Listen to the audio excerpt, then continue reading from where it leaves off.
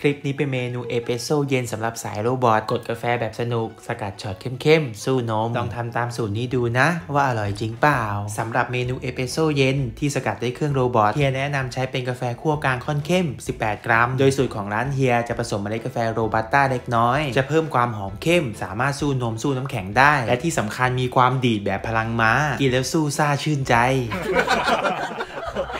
เบอร์บดจะเป็น 0.5 ความละเอียดเดียวกับเครื่องชงเอสเปรสโซ่เลย ใส่กาแฟลงในถ้วยชง เกี่ยกาแฟให้ร่วนซุย แรงดันจะได้ไหลผ่านได้ทั่วถึง เคาะเบาๆให้ผงกาแฟเซตตัว แล้วแทมป์ให้รู้สึกแน่นพอตึงมือเคล็ดลับสำคัญอยู่ที่แผ่นกระจายน้ำแนะนำที่ความหนาร้อยไมครอน จะหนากว่าแผ่นที่แถมมากับเครื่องเล็กน้อย ช่วยให้การสกัดกาแฟเข้มขึ้น บอดี้และความหอมจะชัดกว่าเดิม แก้ปัญหาสำหรับน้องๆ ที่ใช้โรบอทสกัดออกมาแล้วไม่สู้นม เติมน้ำร้อน 80 ml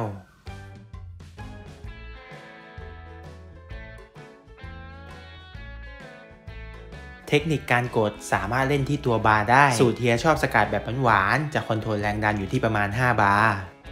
สังเกตที่ตัวครีมมาถ้าเราใช้เบอร์บดที่เหมาะสม กาแฟคั่วสดใหม่ ไม่ว่าจะใช้โมกาพอตเครื่องชงหรือว่าโรบอทช็อตกาแฟที่ได้จะมีความหอมเข้ม แล้วก็ครีมมาสวยแบบนี้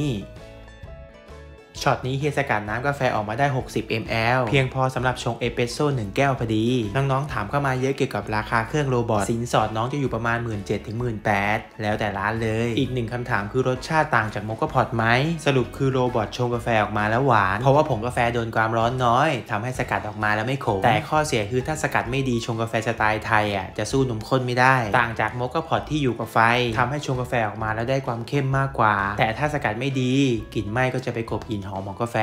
อันนี้ต้องฝึกเนาะ นมสด 60 ml ครีมเหลว 30ใส่หลับวานิลาของลองบีด15 ml ถ้าชอบหวานน้อยก็ปรับเป็น 10 อย่างที่เฮียอธิบายตอนแรกเนาะ โรบอทก็สู้นมข้นไม่ได้ จึงใช้ความหวานจากไซรัปแทน ช็อตกาแฟที่เราสกัดได้ 60สังเกตสีเนาะ ถ้าเราสกัดกาแฟได้ดีอะจะออกมาสีเข้มข้นสวยแบบนี้ ส่วนเรื่องกลิ่นอะหอมทะลุจอบอกเลย สำหรับมือใหม่ลองเช็คก้อนกาแฟที่สกัดได้ดู ว่าควบคุมแรงดันให้น้ำกาแฟไหลผ่านได้ทั่วถึงหรือเปล่า ถ้าไม่ทั่วถึงให้ปรับที่แรงกด แล้วก็การบดกาแฟนะครับ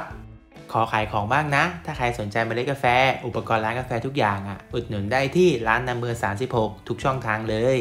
ขอบคุณครับ